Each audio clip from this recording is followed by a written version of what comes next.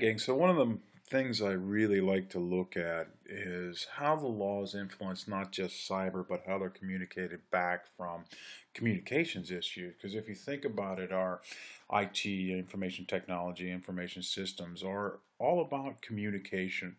They're created to communicate faster and better. We can lead this back to uh, code from COBOL that was created in naval institutions by Hopper who was essentially creating this as methodologies for the services to communicate faster, better, more effectively around the world. One of the interesting things that I really like about uh, these communication factors, uh -oh, program seems to be sticking, there she goes, sorry, is how they really kind of uh, evolve and move around Hmm. Sorry, gang.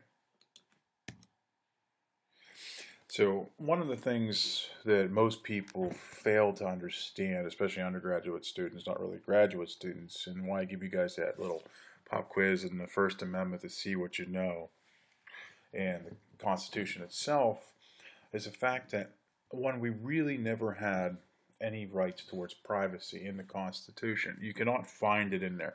People will cite the Fourth or the First and try to say different things.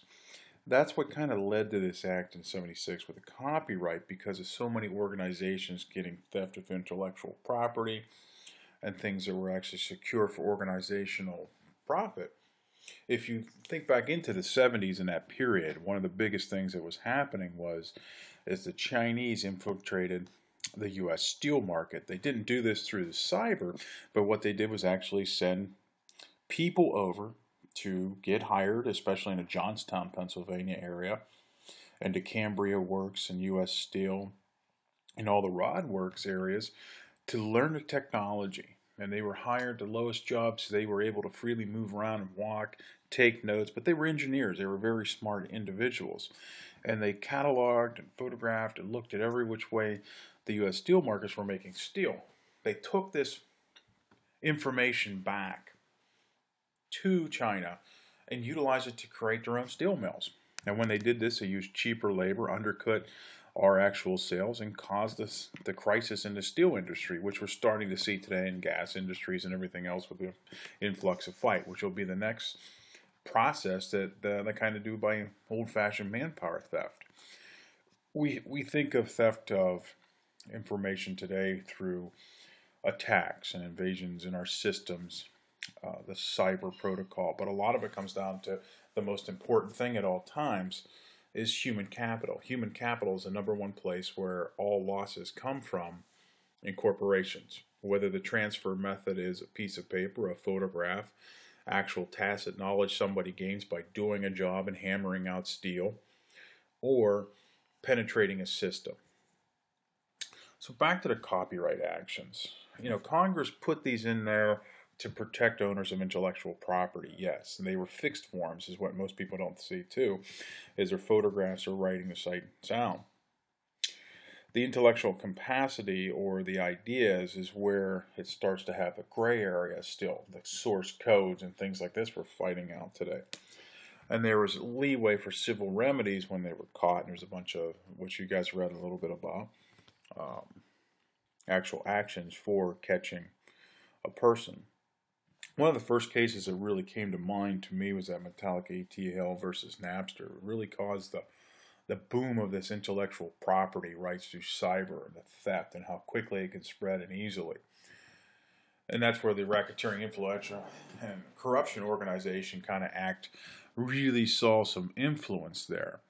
Uh, the movie industry was already seeing this uh, prior with Sony's VCRs to where everybody had a VCR and they were just taping and stealing whatever they could and sharing it back and forth. Or they would go into movie theaters with pocket cameras. You know, they were a little larger then, but record the movies that were on the big screens, come back, make dupes of it on a VCR, and be selling it. You know, this was a home sharing thing and a home library then. What really became interesting is that P2P, the peer-to-peer -peer sharing ability. And if you think about this from a software instance, it was really a method of transferring and sharing, you know, in a communication model. You know, they were the nodes of communication. They were unregistered. Smart kids, in most cases, were utilizing this already. And when Napster's founder thought about this, he believed in his mind at first that this was a good thing. We're sharing information the way the net should really be used to communicate, foster relationships, growth on a globalization manner. But they failed to look at how copyright actually is restrictive on these nodes and this sharing community. My question is today still, we understand all the ramifications of how Metallica sued and they won and it changed this marketplace, collapsed Napster. What about today? You know, we're looking at the market space of Apple and every single song could be purchased for 99 cents or $1.25 individually. So it changed the whole model of e-commerce for the music industry. We're starting to see that now with what? Well, movies again. You can download a movie, it expires in so long, kind of explodes, but during that time, you could use the same software that I have, like we're recording right now. I could record a whole movie, high def quality, and transmit it as well on a dark web. Or I can make it somehow, like I heard a student one day say to me last week, hey, I'm going to burn a disc of this new new movie that's coming out. Do you want a copy? And I looked up and said, yeah, that'd be great. And I said, you realize you're in my law and ethics class, correct? And his face kind of went gray because culture itself is one of the things that causes our unethical actions in our legal actions because when since ingrained so much of a culture that's acceptable we kind of allow it. And you have to just say, oh, well, it's just a movie here, just a movie there. But how many movies has this person had, you know, ciphered and taken? I know an individual who told me he has uh, a terabyte drive of music and videos and everything else, and I could borrow anything I want. I said, absolutely not. I said, don't ever speak of this again. And this was a foolish young man. I said, please, think about the ramifications of your actions. But this is the same way we saw the Napster case come up. So what's going to happen with these kind of same spaces and the market space of the P2P is still out there. The more naive culture becomes and less educated, like you guys are being educated, and if we don't share, we have this copyright restriction issues that are just fostering in a, in a cycling manner that keeps fostering over and over and over again because of lack of education. This is seen now in the digital native culture.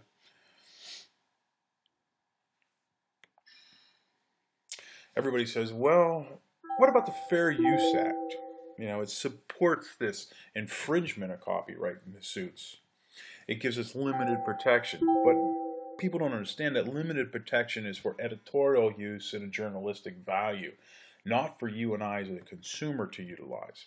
More importantly, it was also adopted because of educators so that we can share and utilize information, bits and pieces, limited amount, half a page or a you know clip of 30 seconds or a minute of videos and, and material. Not to where how the digital native culture today is doing everything. If you look at YouTube, they're capturing full movies and posting it up.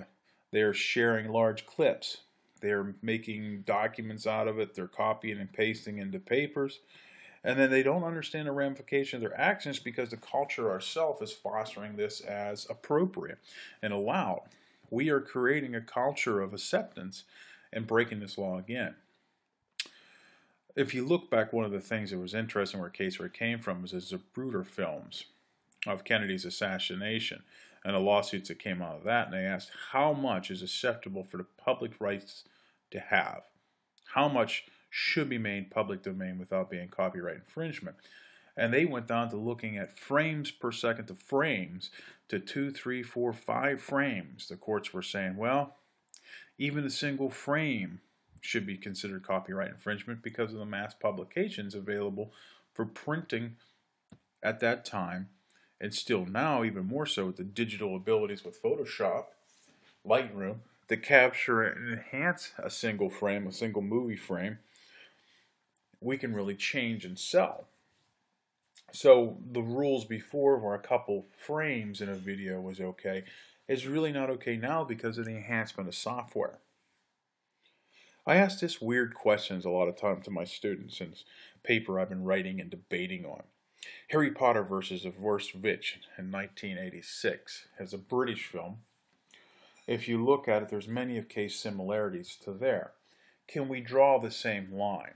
I heard this now with Adele's first song, and the first thing I thought of was, that's Lionel Richie's Hello. It's not hers. It has the same tonality, the same beat, the posture. The words are slightly different. So how much are we allowed to utilize as somebody else's intellectual property right for fair use? This is always constantly debated. We've seen it in many other issues, and music alone was a big place for this, for copyright. Rolling Stones was one, people using too much of their beat. There was a couple other cases recently in court. I believe it was uh, Vanilla Ice got captured a few years ago and had to pay royalties.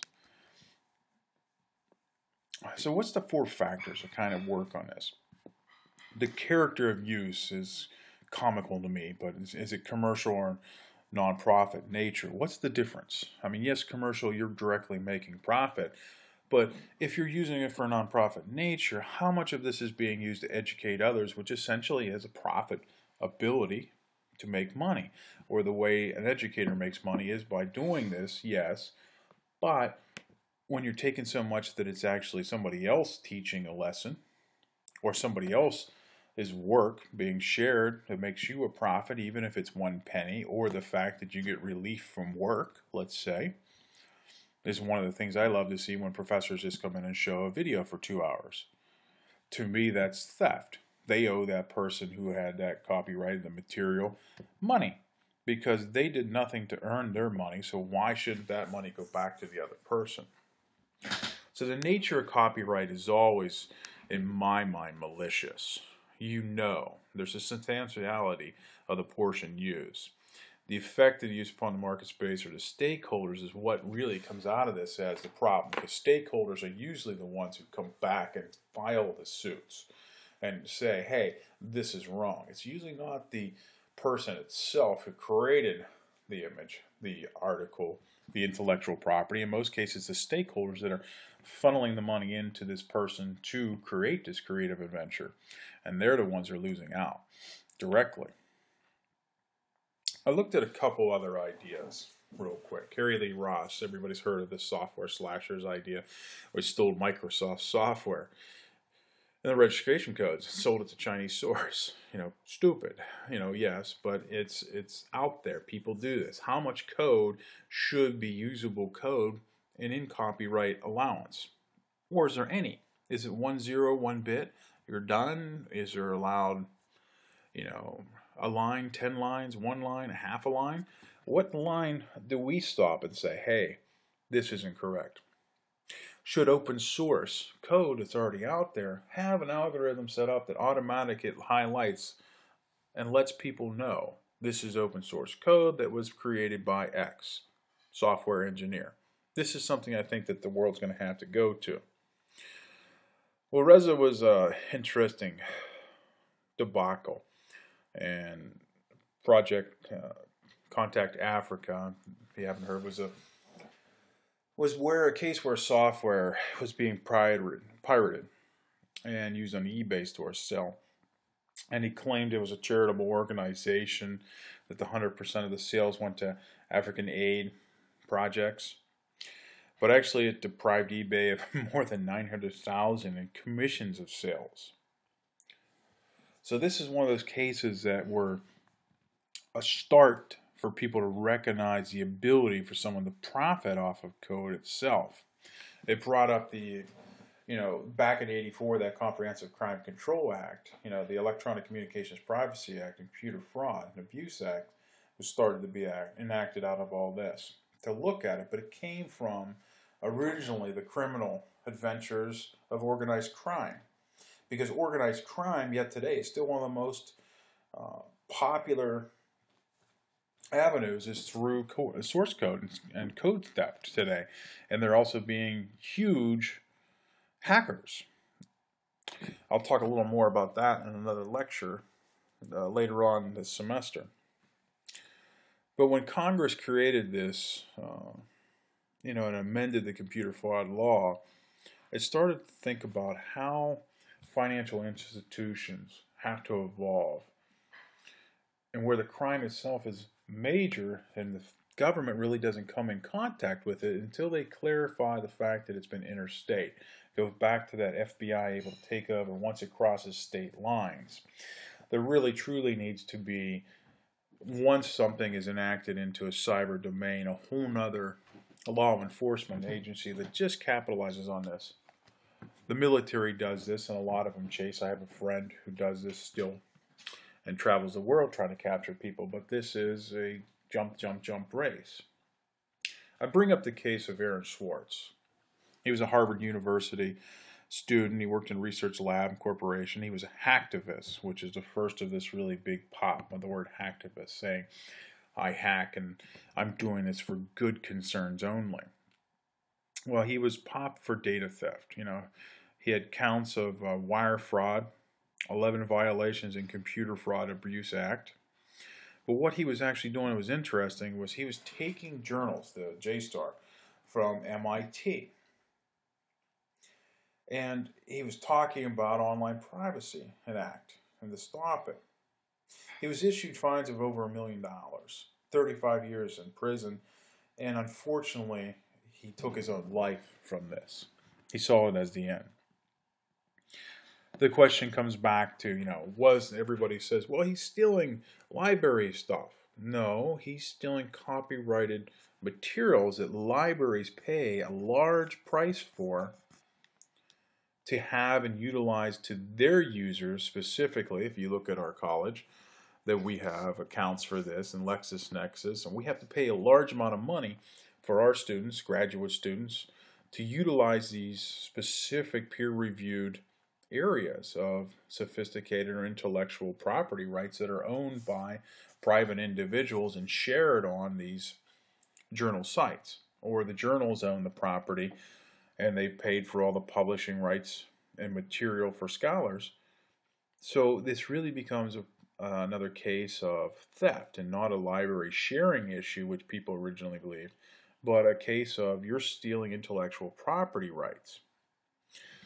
And the only way you get into these journals is, in most cases, if you're a member, student, or something of that library.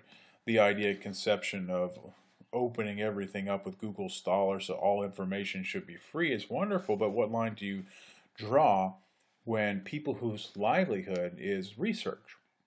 And they spend all their time doing this research to publish it so they have a way to make a living. Just same as if I'm a mechanic.